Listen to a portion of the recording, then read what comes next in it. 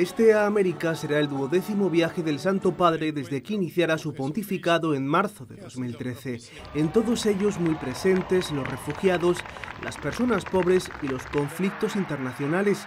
El Papa Francisco ha llevado el mensaje de paz y reconciliación a Corea del Sur, Israel y Palestina, Sarajevo, Bosnia y Herzegovina. American Catholics are committed to building a society which is truly tolerant and inclusive. Unidad pidió el pontífice en su visita también a Estados Unidos y Cuba en septiembre del año pasado y a Kenia, República Centroafricana y Uganda dos meses después. Hay algo que todos ustedes los jóvenes tienen, la capacidad de elegir, dejarme vencer por la dificultad o transformar la dificultad en una oportunidad para vencer yo. Ahora llega a México, dos heridas de sangre en este país, la violencia en sus calles y la abismal desigualdad entre ricos y pobres. El Papa Francisco se ha encomendado en esta visita apostólica a la Virgen. Lo hizo ayer cuando acudió a rezar a la Basílica de Santa María la Mayor de Roma.